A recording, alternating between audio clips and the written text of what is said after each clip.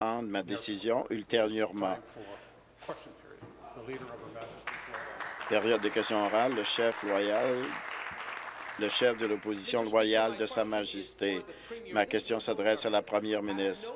Le gouvernement n'a aucune raison de dépenser des millions de dollars des onades contribuables pour faire la promotion de publicité et finalement dépense de l'argent à la radio et dans les réseaux, et dans les réseaux sociaux. Est-ce que la première ministre va faire ce qu'elle doit faire arrêter de dépenser de l'argent en publicité et qu'elle demande leur annulation aujourd'hui? Merci, Monsieur le Président. Vous savez quoi? J'ai parcouru en long et en large dans la province pendant des mois, y compris la semaine dernière. Les gens sont préoccupés par l'électricité et le chef de l'opposition le sait très bien, ainsi que le troisième parti. Les gens souhaitent avoir un allègement sur la facture d'électricité et le travail qu'on a fait jusqu'à maintenant, mais je sais qu'on peut faire davantage et cette diminution de 25% de la facture d'électricité est importante. Nous avons un plan qu'on met de l'avant, étant donné le bruit de l'autre côté, que les, ils comprennent très bien la situation et qu'ils appuieraient les modifications que nous avons proposées pour avoir un véritable allègement dans la province complémentaire. Une fois de plus, est-ce que la première ministre a parcouru la province? Est-ce que les gens lui ont demandé de faire de la publicité, de gaspiller les deniers publics à des fins de publicité? On se rappelle d'une publicité de 8 100 000 pour un programme de création d'emplois qui finalement n'a rien fait ou n'a rien donné. Monsieur le Président, combien de millions de dollars le gouvernement va gaspiller sur des publicités à la radio pour dire qu'elle a bien fait son travail? Monsieur le Président, le chef de l'opposition prétend c'est-à-dire la sécurité de la vieillesse à l'échelle de la province, c'est-à-dire je suis très fier de notre bilan. Mais la réalité est la suivante. Que le chef, ce chef de l'opposition, était au gouvernement fédéral, intervention du président,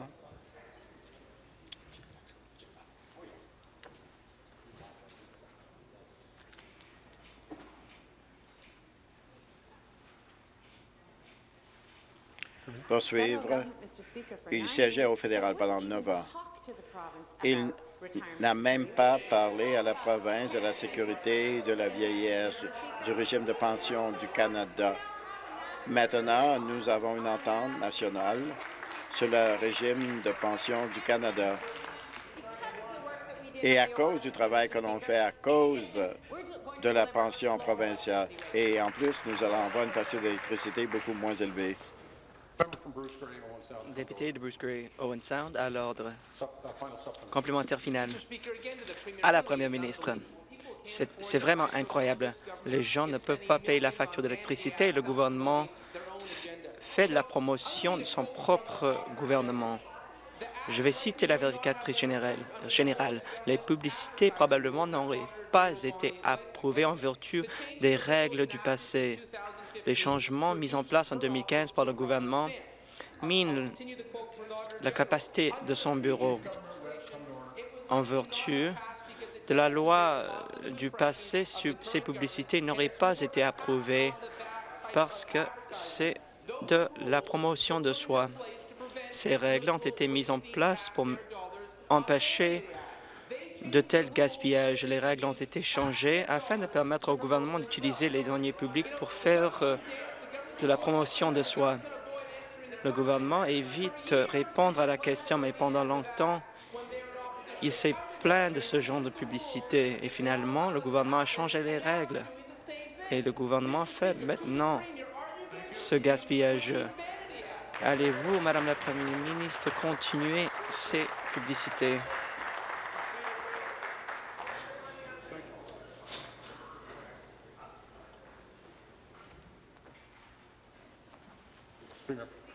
Madame la Première ministre, C'est un dossier très important.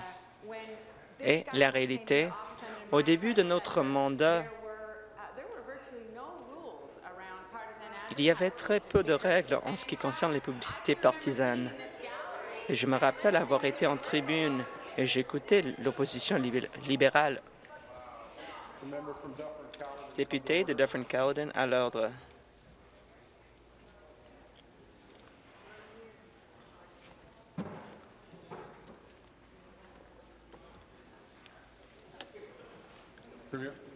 La Première ministre, je me rappelle avoir été dans la tribune et l'opposition libérale à l'époque posait une question entourant les publicités qui avaient en fait la figure euh, du premier ministre. Et à l'époque, il y avait des grèves, des fermetures d'écoles, des regroupements obligatoires des écoles. Il y avait du chaos. Et le premier ministre, à l'époque, avait en fait son visage sur les publicités. Nouvelle question, chef de l'opposition. À la première ministre, je n'ai pas eu de réponse quant aux publicités d'autopromotion. Je vais donc essayer une autre démarche. Récemment, il y a eu un article à la une qui disait que les foyers de retraite financent les repas des résidents à 8,33 33 cents euh, par jour. Est-ce que, d'après la Première ministre, ce montant suffit? La Première ministre, je sais que le ministre de la Santé va vouloir parler de ceci, mais nous avons collaboré avec les foyers de retraite à l'échelle de la province. Il y a davantage de capacités au sein du réseau et les lits ont été mis à jour. Il y a encore du travail à faire et étant donné la population vieillissante de l'Ontario, député de Bruce Gray Sound, deuxième fois. Et je vais peut-être passer aux avertissements. Je vais le faire si nécessaire. Veuillez conclure. Monsieur le Président, 10 000 lits de plus et 13 500 lits ont été mis à jour. Il y a encore du travail à faire et nous travaillerons en étroite collaboration avec le secteur des soins de longue durée complémentaires. À la Première ministre, ce montant de 8,33 cents, ce n'était pas même le chiffre le plus étonnant. Ce qui m'a étonné encore plus, c'est le fait que l'Ontario dépense un dollar de plus pour les repas des détenus que pour les résidents des foyers de retraite. Donc, est-ce que nous appuyons les détenus ou les personnes âgées? D'après moi, ça devrait être les personnes âgées. Pourquoi est-ce que les détenus sont mieux nourris que les personnes âgées dans la province de l'Ontario de Kathleen Wynne? Rassez-vous. Député de, de Glengarry Sud à l'ordre.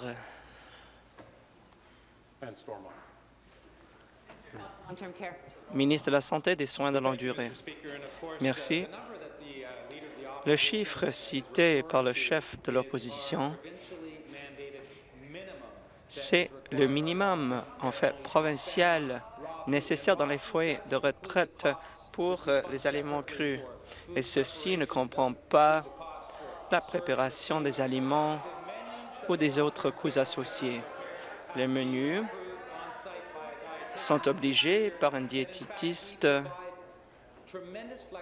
et il y a énormément de flexibilité dans le budget des aliments des foyers de retraite. Et ceci permet des dépenses supplémentaires sur le plan des aliments crus. Complémentaire final à la Première ministre. Quant aux publicités gouvernementales, il y a des millions de dollars pour l'autopromotion, mais quant aux personnes âgées, il n'y a rien. L'Association ontarienne des foyers à but non lucratif à l'intérêt des personnes âgées ne demande que 33 cents par jour. Les détenus auraient quand même plus que les personnes âgées. C'est un manque de respect incroyable. Ces personnes âgées méritent mieux. Donc, euh, peu importe l'interprétation du ministre ou de la première ministre, la, réalité, c'est que sous leur gouvernement, nous nous occupons mieux des détenus que les personnes âgées. Ce sont les parents des gens, les grands-parents. Madame la Première ministre, est-ce que vous voulez traiter les personnes âgées de cette façon? La Première ministre va-t-elle avouer que c'est une situation inadmissible? Arrêtez la pendule. Asseyez-vous. Merci. Merci, Monsieur le Président. Dans le budget de l'année dernière auquel ils se sont opposés, nous avions augmenté le budget pour les aliments crus pour les résidents des foyers de soins de longue durée. C'était une augmentation de 3,7% au-delà de l'inflation. Et nous écoutons les acteurs du milieu qui nous donnent des suggestions préalablement au dépôt du budget en ce qui concerne les quantités nécessaires des aliments crus. Et j'aimerais dire que nous avons un poste budgétaire qui s'appelle « Autres dépenses » et c'est plus de 50 dollars par résident par jour. Donc, tous les foyers de soins de longue durée sont en mesure d'utiliser cette dépense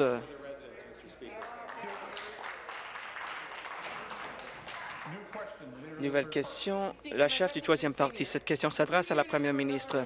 La première ministre a mis en place des publicités qui euh, discutent de leur plan pour l'électricité. Selon la vérificatrice générale, ceci n'aurait pas été permis en vertu des règles du passé. La première ministre peut-elle nous dire quel est le coût de ces publicités? La première ministre, encore une fois, j'aimerais dire à la chef du troisième parti,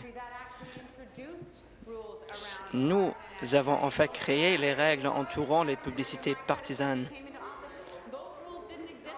Avant notre gouvernement, ces règles n'existaient pas. Nous avons mis en place des règles concernant l'inadmissibilité des publicités partisanes.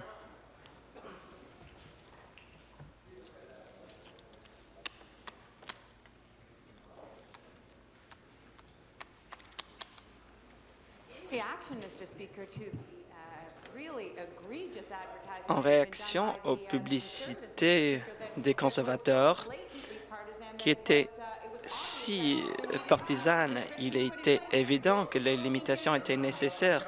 Ces limitations ont été mises en place et nous les respectons. Complémentaire. Est-ce que j'écoute une comédienne dans la Chambre? Le gouvernement a changé les règles et puis les a changées encore une fois afin de faire de l'autopromotion en cas de difficultés politiques. Les factures d'électricité des Ontariens n'ont pas été réduites. Il n'y a, pas été de plan de la part de la première ministre qui a pour but d'éclairer les Ontariens quant à l'utilisation de leur argent la première ministre dépense sur les publicités et prétend que le, problème a été résolu. Est-ce que ce n'est que des efforts politiques et quel sera donc le coût de ces publicités? La première ministre, j'aimerais dire à la chef du troisième parti que nous avons un plan qui fera baisser les factures d'électricité. Et ceci sera fait avant l'été un allègement important de 25% C'est pour les résidents qui paient ces factures d'électricité. Il y aura davantage d'allègements pour les gens qui ont des frais de livraison très élevés dans les régions éloignées et rurales et le programme de soutien de l'Ontario sera bonifié. C'est un programme très important qui prévoit un allègement et un allègement qui sera mise en place de manière opportune. Je suis heureuse que la chef du troisième parti aimerait voir ce plan et j'ai hâte d'avoir son soutien. Plutôt d'avoir des publicités partisanes, nous aimerions voir le plan. Il y a eu beaucoup de publicités, mais il n'y a pas encore eu de plan déposé. Ces publicités concernent plutôt le Parti libéral plutôt que le bien-être des Ontariens. Combien de deniers publics euh, ont été utilisés pour financer ces publicités? Arrêtez leur pendule.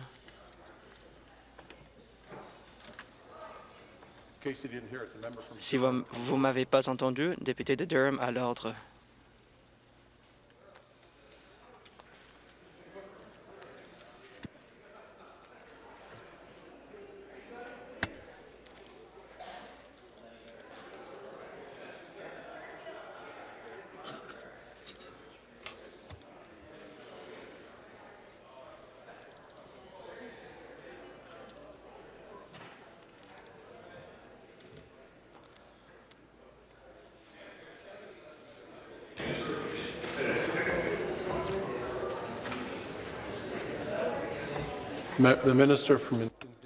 Ministre des Affaires autochtones et de la réconciliation à l'ordre.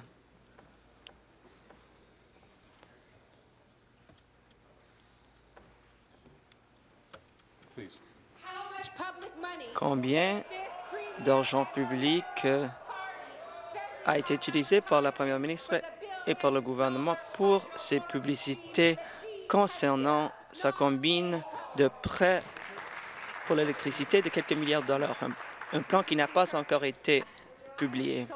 La Première ministre, je suis si heureuse que nous parlons de notre plan qui a pour but de faire baisser les factures d'électricité des Ontariens. C'est un plan tout à fait important qui fonctionnera. Je visitais une entreprise qui s'appelle J'adore, euh, située dans la circonscription de Barrie. J'étais à Barrie. C'est une fromagerie. Et cette entreprise verra une réduction importante de la facture d'électricité qui permettra à l'entreprise de prendre de l'ampleur, euh, de rénover leurs installations. Et ça serait tout un joyau de la ville de Barrie. Donc, nous aimerions voir de la prospérité de la part de cette entreprise. C'est pour ça qu'il est si important de leur donner un vrai allègement. Chef euh, du deuxième parti à la Première ministre.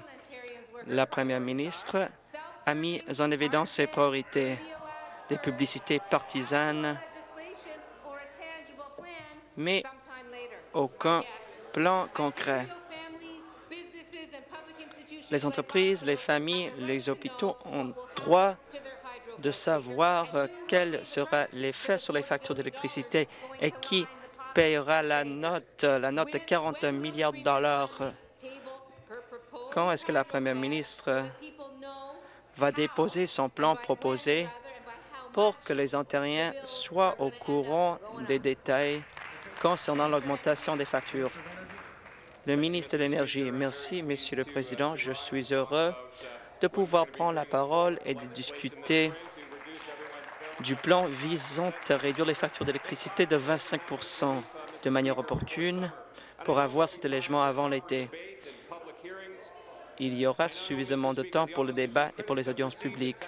Les porte-paroles de l'opposition ont reçu des renseignements techniques quant à notre plan et ont accès à des documents techniques euh, qui discutent des réductions qui seront mises en place. Notre plan offrira un allègement pour nos entreprises, pour nos familles et pour euh, nos agriculteurs. Les partis de l'opposition ne déposent que des platitudes. Selon notre plan, il y aura un vrai allègement pour les familles, pour les entreprises et pour les agriculteurs. Et ceci sera mis en place avant l'été. Complémentaire, entre 2011 et 2015, l'hôpital de Sault-Saint-Méry a une augmentation de la facture d'électricité de 2,7 millions de dollars, une augmentation de 45% au cours de quatre ans. Mais la consommation d'électricité n'a pas changé. La première ministre refuse de déposer son plan. Donc, créera-t-elle une publicité pour que les hôpitaux soient au courant concernant les, allègement de la facture d'électricité? Ministre de l'Énergie. Merci. Je sais que le, le troisième parti doit arrêter d'induire en erreur les Ontariens. Arrêtez la pendule.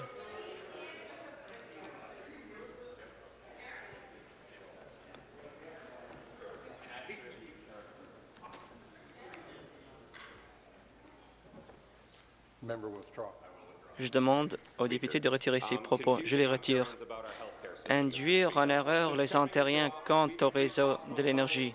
Nous avons augmenté le financement des hôpitaux de 54% Nous traitons davantage de patients, nous euh, offrons des meilleurs soins et nous, nous réduisons les temps d'attente. Tous les deux partis de l'opposition induisent en erreur les Ontariens en ne pas discutant des effets des coûts au sein du reste de l'énergie. La réalité, c'est que les hôpitaux dépensent 1,6% sur la facture d'électricité. Donc 95% du budget est utilisé pour les autres services offerts, euh, par exemple de, de, faire baisser les temps d'attente et de garantir l'accès aux soins d'autre qualité. Les hôpitaux sont admissibles à un plan d'économie en ce qui concerne l'électricité. Complémentaire final, ce n'est pas seulement les familles, les entreprises et les hôpitaux qui en souffrent. Les municipalités sont préoccupées en ce qui concerne le plan de près de 40 milliards de dollars de la première ministre. J'ai rencontré des gens de Bruce Mines, Hilton Beach, St. Joseph's et Batchewana et donc, euh, les résidents de ces endroits m'ont dit que les factures d'électricité entraîneront peut-être la fermeture des installations communautaires. La première ministre refuse de déposer les détails de son plan de près de 40 milliards de dollars. Donc, est-ce qu'elle mettra en place une publicité pour informer les leaders municipaux quant à un allègement des factures d'électricité et afin de continuer d'offrir des services euh, municipaux? Ministre de l'Énergie. Depuis le début de notre mandat, nous avons augmenté, nous avons quadruplé le financement des municipalités. Le gouvernement conservateur euh, avait refilé des coûts aux municipalités, mais nous avons mis en place un allègement fiscal pour nos partenaires municipaux. Les résidents des 444 municipalités de l'Ontario bénéficieront du plan d'équité au sein du secteur de l'électricité. Et parlant des municipalités, le maire de Hamilton était à la une récemment et il nous a dit qu'une réduction de 25% est une mesure tout à fait positive euh, pour euh, les consommateurs d'électricité. Il a loué le gouvernement pour ces réductions importantes. C'est le maire euh, de la circonscription de la chef du troisième parti. Donc, on se pose la question est-ce que ce parti appuiera ce projet de loi et est-ce que ce parti suivra les conseils du maire euh, de Hamilton? Question. Député de euh, bonjour, Monsieur le Président. Ma question s'adresse à la Première ministre. Au cours des cinq dernières années, 350 euh, soignants, personnels de euh, de première ligne ont été coupés euh, dans un centre euh, hospitalier et 60 lits ont été fermés dans cet hôpital qui est nouveau. entre 30 et 40 autres travailleurs de santé vont être envoyés à la maison. Monsieur le Président, on ne veut pas en prendre davantage à North Bay. Leurs emplois sont, sont perdus en conséquence de la mauvaise gestion et des scandales du Parti libéral. En plus de leurs troubles, l'hôpital a vu donc une augmentation d'hydroélectricité de 65% au cours des six dernières années. Le PDG a, déclaré qu'il commence à avoir euh, beaucoup d'inquiétudes concernant le soin des patients.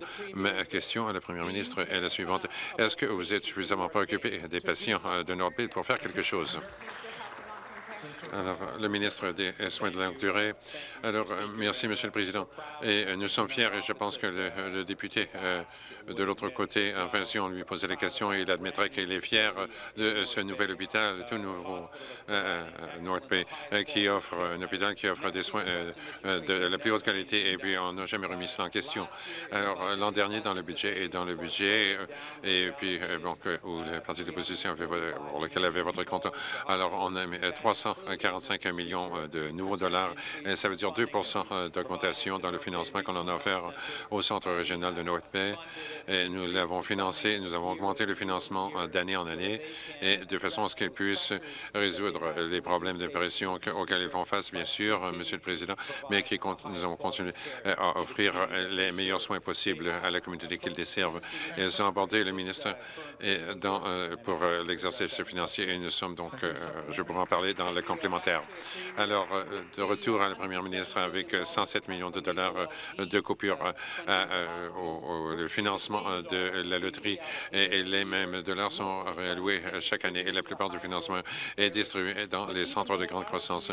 Mais même si nos communautés dans le Nord ne grandissent pas, nos personnes âgées deviennent plus vieux. Et aussi, nous avons beaucoup plus d'incidences de maladies chroniques dans le Nord et à cause de ces coûts supplémentaires et aussi des factures électriques à la hausse. Les hôpitaux n'ont pas réussi à boucler la boucle cette année. Ça veut dire qu'ils ne sont pas admissibles aux 7 millions de dollars pour le soulagement fiscal. Alors donc, ils sont dans une spirale descendante. Ma question à la première ministre est simple. Est-ce qu'elle va réadmettre que le Centre régional de santé de North Bay, qu'elle soit réadmis dans le programme régional pour qu'ils puissent atteindre leur cible et de mettre fin à cette spirale? Euh, euh, descendante. Euh, merci, Monsieur le Président. Comme je l'ai indiqué, nous avons reçu la demande de l'hôpital. Nous travaillons étroitement avec eux et avec aussi le RLIS en collaboration, en partenariat. Et je devrais faire remarquer, Monsieur le Président, que c'est quelque chose que leur parti, lorsqu'ils étaient en place à North Bay, ils n'ont pas fait cela. En 2001, l'hôpital de North Bay faisait face à 6,5 millions de dollars de déficit. Et à ce moment-là, McHarris avait dit, je cite, North Bay et Sturgeon Falls et Mattawa, ils ont des déficits et ne vont pas être euh, admissibles à être financés dans les années suivantes, Monsieur le Président, euh, pour être très clair que le gouvernement du Parti conservateur ne travaillait pas avec les hôpitaux pour maintien des services. On ne travaille pas de cette façon-là. Nous travaillons étroitement avec les hôpitaux aujourd'hui. Nouvelle question. Tiers parti.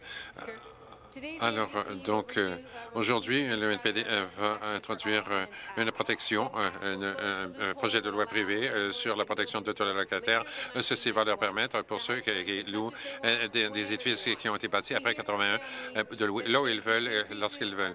Nous avons dit donc que ces, ces, façons, ces mesures sont en train de les mettre hors du marché locatif. Est-ce que le premier ministre va mettre fin à cette pratique qui les élimine, les euh, chasse de leur loyer. Alors, euh, Monsieur le Président, donc c'est une excellente question. C'est vraiment inacceptable qu'autant d'Ontariens font face à, des coûts euh, de logement qui euh, augmentent aussi d'une façon systématique. Les familles ont des budgets respectés et puis ils souffrent du marché locatif, un marché locatif qui a des difficultés à répondre à la demande. Alors, donc, nous avons déjà travaillé sur plusieurs secteurs dans le domaine. depuis l'an dernier, nous avons consulté les locataires et puis les propriétaires à travers la province pour examiner la loi sur, euh, les, euh, sur le logement locatif et pour voir ce que l'on peut faire de mieux. On a, passé des zonages qui vont permettre à des municipalités de donner un nouvel outil pour utiliser pour bâtir du logement locatif abordable. il y a beaucoup de choses et puis j'aimerais vraiment faire toute la liste ici. Je vais faire dans ce complémentaire complémentaire. Alors, on espère que ça ne va pas leur prendre autant de temps que pour euh, le zonage inclusif pour euh, résoudre le problème de 1981. Le fait que plusieurs ménages euh, sont sur le bord du gouffre en ce moment, Monsieur le Président. Des gens voient des augmentations de loyer de centaines de dollars, sinon de 1000 dollars.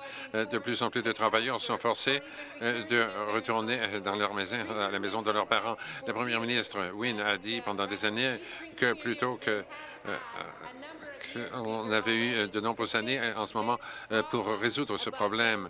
Mais au lieu de faire cela, c'est des millions d'Ontariens et d'Ontariennes, des gens qui, sont, qui louent des locataires et qui sont en difficulté. Alors pourquoi est-ce qu'on n'a pas posé des gestes jusqu'à maintenant?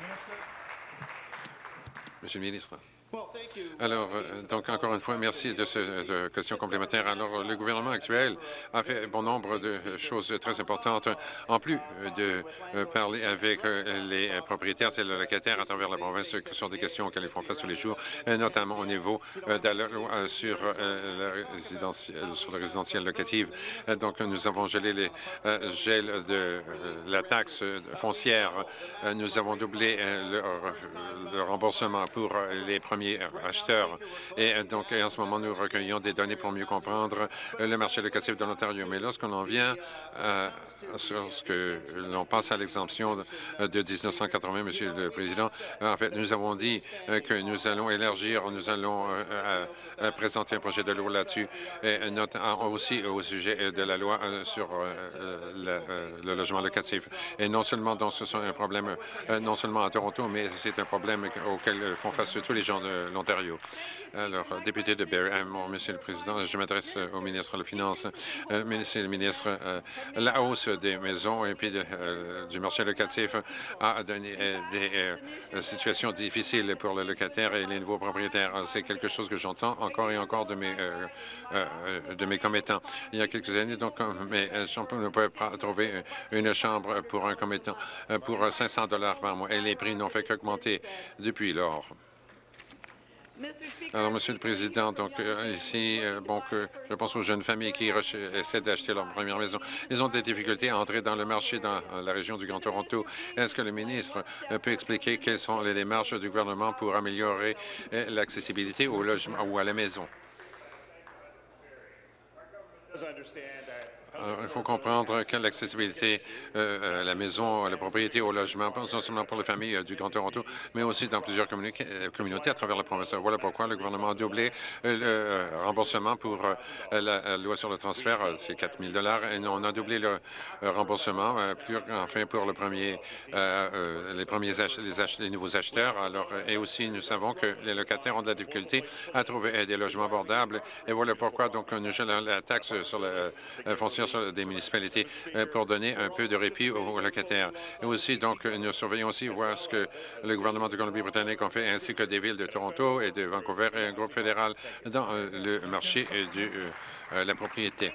Alors, merci, Monsieur le Président. Alors, pour revenir au ministre des Finances, je suis heureux d'entendre que le gouvernement euh, donc, va poser des démarches pour répondre aux problèmes. Alors, bien sûr, ça, c'est quelque chose qui va permettre à, pouvoir se permettre un, dépôt initial pour une première maison. Et je suis heureux d'entendre que le gouvernement continue à travailler euh, sur d'autres façons pour rendre le marché euh, de, maisons plus abordable.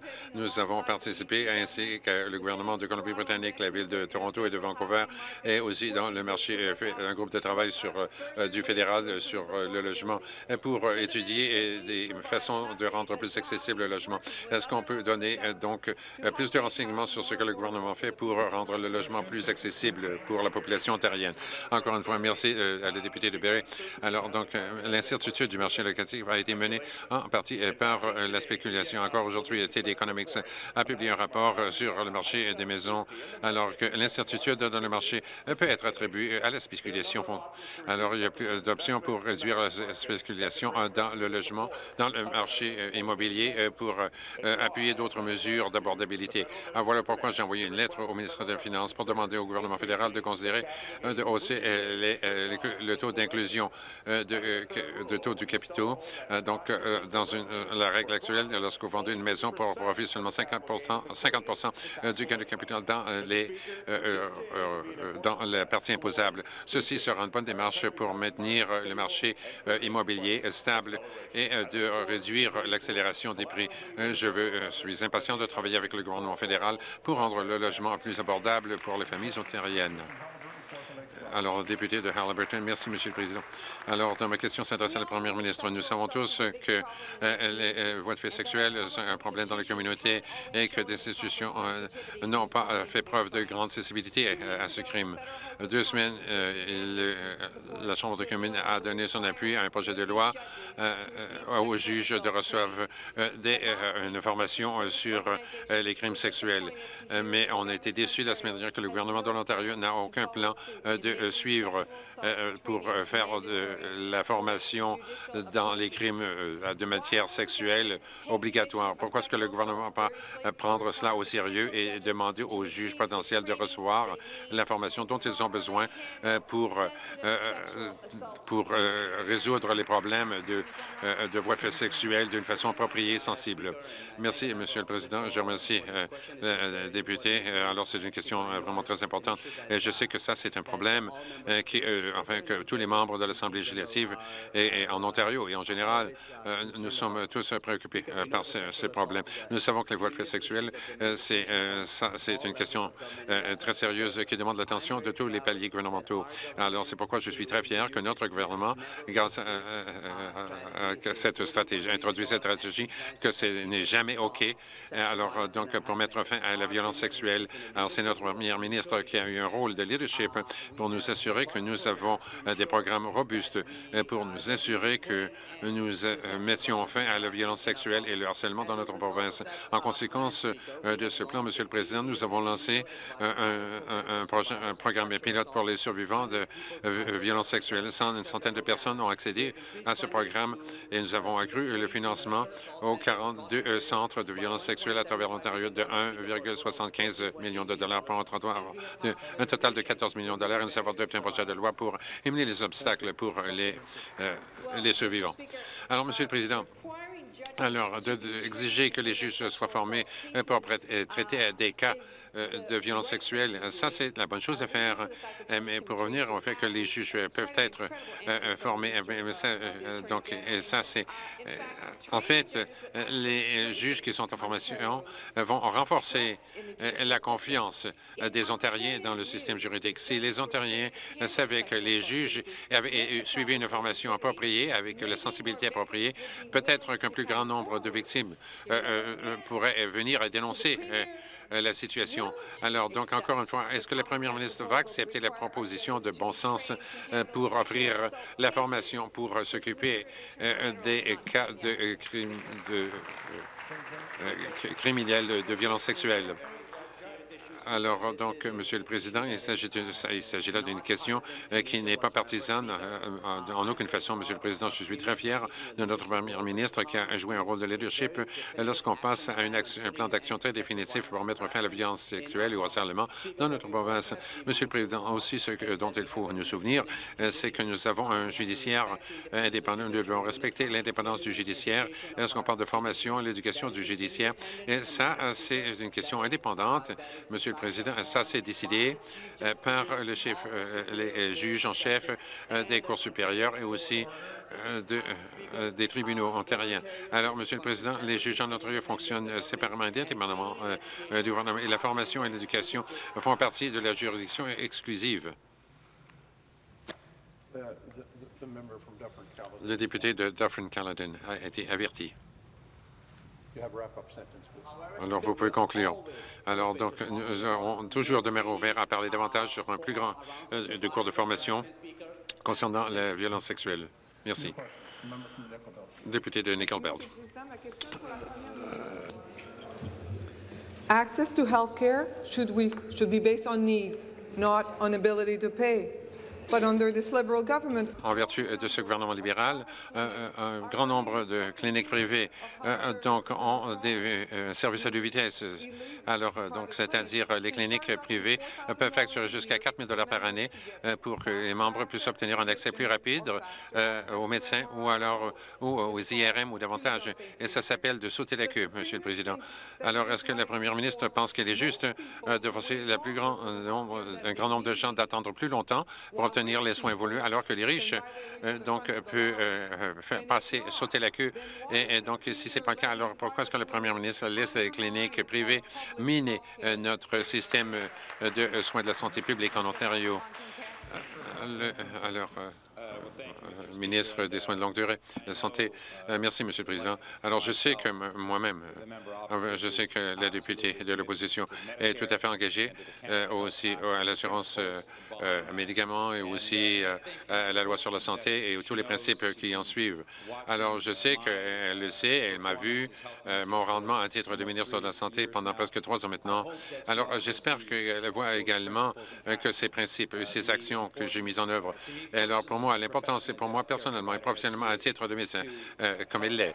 Alors, euh, pour s'assurer de l'équité, pour s'assurer que les plus vulnérables, euh, ceux qui vraiment ont besoin du plus grand accès aux soins de la santé, que c'est là où nous concentrons notre attention et que sur ce euh, cette question vraiment très importante de l'accès également, qu'il est juste et que ce soit égal et équitable comme accès, Monsieur le Président.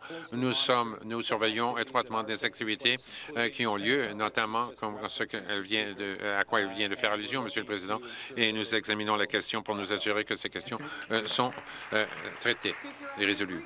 Monsieur le Président, donc pour revenir à la question des cliniques privées qui augmentent euh, euh, qui euh, se propage au cours des cinq dernières années. Le temps est venu de poser la question. Alors, poser la question maintenant combien ça prend de temps pour avoir un, rendez-vous pour le médecin pour un enfant malade? Ça peut prendre des semaines. Mais sous les libéraux, les gens peuvent payer une clinique privée pour, alors, pour un accès à un médecin 7 heures, 7 jours par semaine, 24 heures 24. Combien de temps ça prend, par exemple, pour aller à l'IRM? Je suis allé dans le site Web. Alors, c'est 106 jours pour un IRM dans une clinique privée. Les gens peuvent payer pour obtenir un IRM euh, dans un délai d'un ou deux jours. Alors, pour forcer tous les autres d'attendre davantage. Monsieur le Président, lorsqu'on a besoin d'accès à des euh, soins de la santé plus équitables, euh, on devrait nous demander la carte santé et non pas la carte de crédit. Est-ce que le Premier ministre pense que des gens devraient attendre ou payer pour les soins de la santé dont ils ont besoin? Monsieur le ministre, alors, euh, Monsieur le Président, je pense que euh, peut-être que ma mémoire me fait défaut. Alors, euh, donc, peut-être pendant les trois ans, donc, le député donc, n'a pas soulevé cette question pendant une période de trois ans. Mais, Monsieur le Président, maintenant qu'elle a soulevé la question et que c'est dans Toronto Star, et puis qu'elle l'a vu comme c'était une question très importante, et nous pensons la même chose, et voilà pourquoi, en 2004, Monsieur le Président, nous avons introduit un projet de loi euh, qui a rendu illégal pour toute personne et euh, entité de facturer ou d'accepter euh, quelque bénéfice que ce soit pour des services assurés en plus du, montant qui est payé par OHP. Aussi, on a rendu illégal pour toute personne de, payer, facturer ou de recevoir des paiements ou d'autres avantages pour recevoir un accès expédié ou spécial au système de la santé. Cependant, c'est très important pour le gouvernement, que démontré par la loi de 2004. Alors, nous poursuivons euh, euh, notre examen euh, très étroit pour nous assurer que ça ne viole pas cette loi, la loi aussi sur la santé canadienne. Alors, euh, Monsieur, Monsieur le Président, alors ma question s'adresse au ministre du Tourisme, de la Culture et du Sport. Alors, nous savons euh, que le Festival de l'Ontario, les événements que nous avons ici attirent des touristes euh, pour des, ça veut dire des dizaines de milliers d'emplois et ça engendre des millions de recettes. Et je suis fier du gouvernement qui appuie ces événements pour permettre aux gens de célébrer dans leur communauté. dans Beach et que je suis très heureux de voir que nous aidons le Festival des camions de nourriture alimentaire. Alors, aussi des musical à Woodstock, à Beaches, euh, le, le, grand festival de jazz, ou bien sûr Caribana, qui a une longue histoire euh, dans la ville de Toronto. Alors, euh, donc, nous avons vu dans tout cela, donc nous savons que ces événements jouent un rôle fondamental dans notre vitalité économique et culturelle. Monsieur le Président, je suis heureux de demander à la ministre aujourd'hui, quand, elle annonce qu'elle a faite à Mills Hardware la semaine dernière à Hamilton. Monsieur le Président, donc, est-ce que le ministre va dire aux gens de la Chambre qu'est-ce qui a été annoncé et comment euh, célébrons Ontario 20 millions dans notre communauté. Merci. Le ministre des Sports et de la Culture. Alors, je remercie la question de Beaches York et d'être champion des, euh, aussi euh, dans son comté. Alors, donc, j'étais aussi qui ont créé Supercon, un festival annuel qui transforme James Street dans un week-end des arts. Alors, les vendeurs peuvent voir des musiques, des installations et aussi de la bière artisanale dans notre ville ici. Ça fait des, une décennie maintenant et c'est devenu un incontournable pour les amateurs de musique. Nous sommes heureux euh, d'appuyer avec 500 000 sur deux ans, en plus euh, de plusieurs autres activités à Hamilton. Les visiteurs aussi peuvent faire un arrêt à la Galerie d'art euh, d'Ontario et aussi au Théâtre Aquarius pour toucher, goûter à la culture de Hamilton. Ça attire des touristes, mais aussi nous investissons dans la scène culturelle. Je suis heureux de notre contribution et de, je suis impatience de parler de l'impact de Célébrons Ontario à travers l'Ontario et dans ma complémentaire. Merci. Merci, Monsieur le Président. Merci beaucoup. Il y a beaucoup d'événements tels que Supercrawl qui vient d'être mentionné, qui vont être, qui vont être organisés euh, dans le cadre de la célébration de l'anniversaire de l'Ontario. Donc, c'est vraiment quelque chose de très important à souligner. Célébrons l'Ontario 2017 est vraiment un événement de taille et les organisateurs, bien sûr, ont travaillé d'arrache-pied à mettre sur pied divers événements destinés à justement souligner cette occasion importante. Et donc, il faut absolument que tous se rendent à ces événements divers et variés qui vont de festivals de présentation des aliments locaux à des festivals de musique, par exemple. Donc, s'il vous plaît, Madame la ministre, donnez-nous des détails concernant ces diverses initiatives organisées aux quatre coins de l'Ontario. Merci, je suis heureuse d'avoir l'occasion de pouvoir parler de ces divers événements organisés. Je vais moi-même me rendre à Markham très bientôt et il s'agira donc pour moi de prendre part à l'un des événements organisés dans le cadre de Célébrons l'Ontario. Et bien sûr, ce sont des initiatives qui vont nous permettre de générer des millions de dollars de recettes et vont nous permettre de créer de nombreux emplois. Et donc, c'est vraiment quelque chose de très important à souligner. Notre gouvernement investit 19 millions de dollars dans tout l'Ontario, ce qui permet de financer de nombreux festivals et événements. Nous sommes très, très fiers de notre travail et nous sommes fiers de pouvoir organiser des événements également dans le Nord et dans les communautés éloignées. Merci, le député de Bruce Owen Sound. Merci. Alors, j'ai une question qui s'adresse au ministre de la Santé et des Soins de longue durée.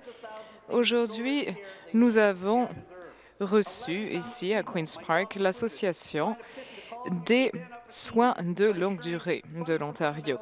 Il y a 11 000 personnes qui ont signé justement une, une pétition concernant les besoins de ces personnes vulnérables que sont les personnes âgées qui ont grand besoin de soins de longue durée. Merci, le ministre de la Santé et des Soins de longue durée. Merci beaucoup, Monsieur le Président. Alors, bien entendu, notre gouvernement s'engage à fournir un financement stable aux soins de longue durée dans cette province. Et c'est pourquoi nous avons annoncé cette augmentation de 3,7% en matière alimentaire dans notre budget de cette année. Nous allons l'annoncer très prochainement et d'ici 2025, nous allons créer 30 000 nouveaux lits de soins de longue durée. Et depuis que nous sommes arrivés au pouvoir en 2003, nous avons en fait créé plus de 10 000 nouveaux lits de soins de longue durée. J'ai toute la liste ici devant moi et si le député souhaite la consulter, je peux la lui fournir. Comme je le disais, plus de 10 000 lits ont été créés depuis que nous sommes arrivés au pouvoir. Et nous allons continuer de financer ce secteur de manière fiable. Merci. Complémentaire. Le député de Prince Edward Hastings, à l'ordre, s'il vous plaît. Complémentaire. Eh bien, Monsieur le Président, oui, je désire voir cette liste parce que depuis que je vous pose ces questions à ce sujet, je n'ai rien obtenu comme réponse de votre part, malheureusement. Et apparemment, vous dépensez davantage d'argent en soins aux détenus qu'en soins aux personnes âgées. Alors, 30 000 lits de soins de longue durée ont grand besoin de modernisation et il y a une liste d'attente qui s'élève à 26 500 personnes âgées qui cherchent à obtenir un lit en soins de longue durée. Et donc, allez-vous vous engager à soutenir ces personnes âgées financièrement, surtout en ce qui concerne les coûts de l'alimentation et de l'électricité, à un taux qui soit conforme au taux d'inflation Réponse, eh bien, bien entendu, nous nous sommes engagés à répondre aux besoins des résidents de foyers de soins de longue durée de cette province. Et bien sûr, il y a eu diverses présentations qui ont été faites lors des consultations pré-budgétaires à cet effet. Et je peux vous dire que nous fournissons d'ores et déjà à peu près 52 000 dollars par an par résident et par foyer à l'heure actuelle. Donc, il y a bien sûr certaines catégories qu'il faut prendre en compte. Et bien entendu, il faut que ce financement soit prévisible et fiable. Il faut absolument que ce soit un financement qui soit durable Et bien entendu, comme je le disais, le facteur prévisibilité est bien entendu euh, très important dans ce cadre. Merci. Nouvelle question, la députée d'Orangewa. Merci beaucoup. Ma question s'adresse à la Première ministre. Alors, je me souviens qu'au cours du budget de l'an dernier, au cours de sa présentation, le gouvernement a malheureusement pris la décision inexplicable d'annuler les services aux enfants autistes de plus de 5 ans. Alors, le gouvernement est depuis revenu sur sa décision, mais la réalité, c'est que de nombreux enfants de plus de 5 ans continuent de se voir refuser des services dont ils ont cruellement besoin. Qu'est-ce que la Première ministre a à dire aux familles de ces enfants qui se voient encore refuser ces services? Merci, le ministre des Services à l'enfance et à la jeunesse. Merci à la députée pour sa question. Comme elle le sait, il s'agit d'une question très importante. Et bien entendu, il s'agit de l'une de nos priorités principales dans notre travail avec les enfants et les familles de l'Ontario et c'est pourquoi nous avons investi un demi-million de dollars dans ce programme. Nous sommes en train de créer 16 000 places de plus dans ces programmes dans tout l'Ontario. Nous sommes en train de mettre en place des services de diagnostic et d'analyse précoce et davantage de services s'adressant aux enfants autistes et à leurs familles. Et vous savez que depuis juin, il y a un programme qui a été mis en place dans ce domaine et c'est un secteur qui a été négligé par tous les gouvernements précédents. Nous sommes en train de faire de grands progrès en ce sens et si elle souhaite obtenir des détails sur ces progrès, je serai heureux de les lui fournir. Merci. Question complémentaire. Je peux vous dire que les Ontariens en ont assez d'être dupés par ce gouvernement. Et il y a une lettre ouverte qui a été adressée au ministre des services à l'enfance et à la jeunesse de la part justement des familles concernées concernant les listes d'attente qui continuent de s'allonger dans ce domaine. Et chaque enfant de l'Ontario a le droit d'atteindre son plein potentiel, et ce, selon ses propres critères et non seulement les vôtres. Est-ce que le ministre va s'engager à remettre en place le financement de ces programmes pour ces enfants? Le ministre eh bien, je me suis rendue aux quatre coins de la province et je me suis entretenue avec des familles concernées. Et certaines de ces familles provenaient justement de la circonscription de la députée d'en face, d'Oshawa et de la région de Durham, par exemple. Et je peux vous dire que ces familles, en réalité, sont tout à fait reconnaissantes à mon ministère des services que nous leur fournissons. Je reçois de nombreuses correspondances à cet effet. Donc, je vais vous parler chiffres ici. Nous avons 2300 familles qui ont demandé ce paiement initial de 8 000 dollars, ce versement initial de 8 000 dollars. Nous avons 750 familles qui vont recevoir ces 10 000 dollars de versement. Et nous avons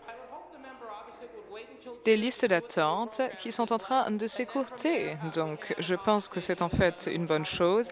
Et j'aimerais que la députée nous laisse déployer notre programme et ensuite nous pourrons nous entretenir à ce sujet. Merci. Nouvelle question, la députée de Davenport. Il s'agit d'une question qui s'adresse au ministre des Affaires municipales. Monsieur le ministre, bien entendu, le secteur de la construction aide grandement les Ontariens dans leur vie quotidienne et c'est un secteur qui vraiment façonne nos collectivités de diverses façons. Et en fait, l'association des constructeur de logements de l'Ontario, est ici aujourd'hui. C'est une association qui a été créée en 1962 et cette association est bien entendu une association très importante dans notre province et il y a de nombreux dialogues qui ont eu lieu entre ces associations et le gouvernement. Et est-ce que vous pourriez, s'il vous plaît, Monsieur le ministre, nous dire quelle a été la contribution de cette association à la détermination des priorités du ministère. Merci à la députée pour sa question. Et j'aimerais dire à tous les députés qu'il y a une réception qui aura lieu ce soir dans la salle à manger. Il s'agira donc de la réception de cette association ontarienne des constructeurs de logements. Et je me rappelle qu'en 2014, j'ai eu le plaisir d'annoncer à cette association, entre autres, notre projet de loi concernant la construction d'édifices à structure en bois de six étages. Et donc, je pense vraiment que c'est quelque chose qui a été très important pour ce secteur de la construction. Mais ce que j'aimerais dire par là, c'est que depuis, il y a eu de nombreuses consultations avec tous les intervenants de ce secteur, y compris cette association, et j'ai hâte de pouvoir vous en dire plus dans ma réponse à la complémentaire. Complémentaire? J'aimerais remercier le ministre pour sa réponse. Notre gouvernement procède à l'heure actuelle à un examen de son plan de croissance, du plan pour la ceinture de verdure, de celui concernant la moraine d'Oak Ridges et de celui concernant l'escapement du Niagara. Il s'agit de préserver les terres agricoles tout en construisant l'infrastructure nécessaire et en limitant l'étalement urbain. Et donc, c'est vraiment quelque chose qui est important à souligner parce qu'il y a eu de nombreuses consultations qui ont en fait commencé en 2015. Il y a également eu un rapport qui a été publié par un comité consultatif après une période d'à peu près six mois de consultation avec le grand public en 2016. Est-ce que le ministre pourrait nous dire quelle a été la contribution de l'Association ontarienne des constructeurs de logements à ce processus de consultation? Merci, le ministre. Oui, la députée a tout à fait raison. C'est quelque chose de très important à souligner que la contribution de cette association à ce processus de consultation et M. Leaf Moore, qui est l'ancien président de cette association, a joué un rôle très important dans ces consultations. Et donc, Neil Rogers, qui vient d'être élu président, 50e président de cette association, est vraiment une personne extraordinaire et j'aimerais également saluer son président du conseil d'administration actuel. Alors, j'aimerais me dire que c'est une association qui représente 4 000 adhérents et que 400 000 logements ont été construits par les membres de cette association au cours des dernières années et c'est une association qui contribue à peu près 45 milliards de dollars, ou plutôt ce secteur contribue à hauteur de 45 milliards de dollars par an à notre économie. Merci. Nouvelle question. Le député de Oxford. Alors, ma question s'adresse à la Première ministre. Il y a une entreprise qui a toujours été l'un des employeurs principaux de ma circonscription, mais qui malheureusement doit payer une facture d'électricité absolument ahurissante de 385 000 dollars par mois. Et malheureusement, c'est une entreprise qui fonctionne 24 heures sur 24 et ne peut donc pas se prévaloir des initiatives de réduction des factures d'électricité en milieu industriel du gouvernement. Est-ce que vous pourriez nous expliquer pourquoi cette facture est tellement élevée? Le ministre de l'Énergie, merci. J'aimerais pouvoir vous faire part de l'existence de nombreux programmes qui existent justement pour aider les entreprises. Nous avons, par exemple, le programme d'accélération pour le secteur industriel, qui est destiné justement à aider les petites entreprises à réduire leur facture d'électricité et bien entendu, c'est notre objectif principal. Et nombre des petites entreprises de cette province se prévalent justement de nos programmes qui ont été mis en place pour les aider à réduire leurs frais d'électricité. Et en fait, il va y avoir une réduction de 25% de leurs factures qui va arriver très prochainement, ce qui va aider les petites et moyennes entreprises de toute notre province. Merci. Complémentaire. Alors, apparemment, le gouvernement et le ministre n'a pas compris que justement l'entreprise dont je parlais ne pouvait pas se prévaloir des programmes d'aide dont il vient de parler. Et donc, au cours des derniers mois, on a annoncé que Oxford allait perdre 1000 nouveaux emplois supplémentaires. Et malheureusement, nous avons tous ces emplois qui se retrouvent compromis en raison de ces facteurs d'électricité trop élevés et le gouvernement ne fait rien pour remédier à cette situation. Madame la Première ministre, les gens ne peuvent pas se permettre de, payer leur facture d'électricité s'ils n'ont plus d'emploi. Qu'a-t-elle à dire aux gens qui ont perdu leurs emplois à cause de sa mauvaise politique en matière d'énergie? Le ministre du Développement économique et de la croissance. Le ministre, eh bien, ce que j'aimerais dire aux gens de Oxford et à tous les Ontariens, c'est que nous avons pris de nombreuses mesures pour rendre cette province davantage concurrentielle. Et la réalité, c'est que nous avons le taux d'imposition sur les entreprises le moins élevé, parmi les moins élevés du pays. Nous avons investi. Arrêtez la pendule.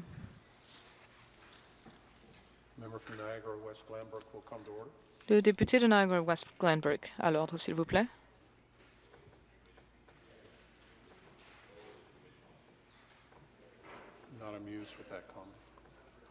Ce commentaire ne m'amuse pas du tout. Terminez, s'il vous plaît. Nos investissements dans les entreprises de toute la province qui s'élèvent à 3,1 milliards de dollars et qui ont commencé en 2004 ont eu des effets très importants sur notre économie. Nous avons réussi à obtenir des recettes de 31 milliards de dollars dans le secteur privé. Nous avons créé plus de 100 000 nouveaux emplois.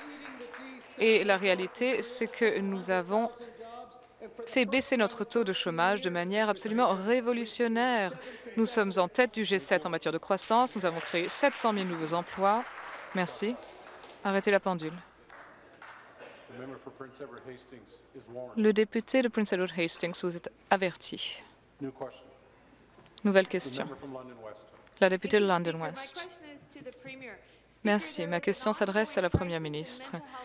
Madame la Première ministre, il y a malheureusement une crise continue dans le secteur des soins aux patients souffrant de problèmes de santé mentale.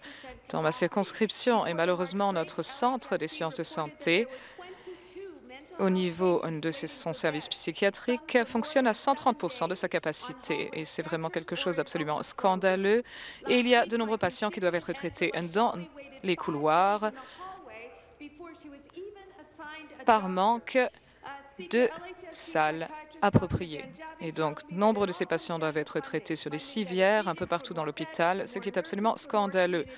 Et nombre d'entre eux doivent attendre très longtemps avant qu'on leur attribue un médecin. Le docteur Banjabi, qui est un psychiatre de ma circonscription, m'a dit qu'on avait besoin de davantage de services, de davantage de lits et de davantage d'infrastructures en la matière. Pourquoi est-ce que la Première ministre refuse d'agir en la matière? Merci, le ministre de la Santé et des Soins de longue durée. Eh bien, Monsieur le Président, au contraire, nous agissons. Nous avons fait des investissements sans précédent dans le secteur de la santé mentale, justement, dans toute la province. Et il y a quelques semaines encore, j'ai en fait annoncé un investissement concernant 1550 nouveaux appartements à service intégré. Et c'est vraiment quelque chose d'important, car nous sommes également en train de financer la thérapie comportementale intensive et également la thérapie cognitive. Et ce sont des choses qui sont très importantes sur le terrain. Et donc, nous avons de plus en plus de visites en salle d'urgence. Pour ces raisons, nous voulons les réduire. Merci. Complémentaire. Merci, Monsieur le Président. Eh bien, les gens de London, malheureusement, sont obligés d'attendre jusqu'à peu près six mois pour, arriver à se faire traiter par un médecin. Et il y a des centres de crise qui sont ouverts 24 heures sur 24 et 7 jours sur 7, mais qui malheureusement sont surpeuplés, ce qui fait que les gens sont obligés de se rendre en salle d'urgence. On a promis un investissement de 10 millions dans ce genre d'infrastructure et dans la stabilisation de ces lits de soins de santé mentale, mais malheureusement, on n'en a pas encore vu la trace. Est-ce que la Première ministre va s'engager à investir pour aider ces patients? Monsieur le Président, 1,2 million de dollars qu'on a investi dans le centre de crise de London fait toute une différence, c'est clair, aux gens de cette collectivité. Mais on travaille aussi avec l'hôpital. On leur a donné euh, de nouveaux fonds, y inclus pour la santé mentale et nous sommes au milieu de 140 millions de dollars de nouveaux investissements pour la santé mentale euh, et 50 millions annualisés par la suite. Mais le Centre de sciences de London a augmenté non seulement de 73% depuis notre arrivée au pouvoir, mais aussi une augmentation importante l'année dernière qui va aider à améliorer la capacité pour cet enjeu très important. Merci, le député de Oxford. Un rappel au règlement. J'ai un rappel au règlement. Le, la liste des nominations, le euh, tribunal de justice sociale doivent donner un rapport annuel dans les 90 jours, dans les 60 jours après la ministre responsable ait reçu le rapport, est censé le déposer ici en Chambre. Monsieur le Président, j'aimerais attirer votre attention du fait que euh, le rapport annuel des tribunaux de la justice sociale de l'Ontario pour l'année 2015 et 2016 n'ont pas été déposés et ne sait pas qu'on ait donné la réponse. J'aimerais dire au ministre que la Chambre a des préoccupations afin euh, du fait qu'on n'a pas déposé ce rapport qui aurait été dû être déposé.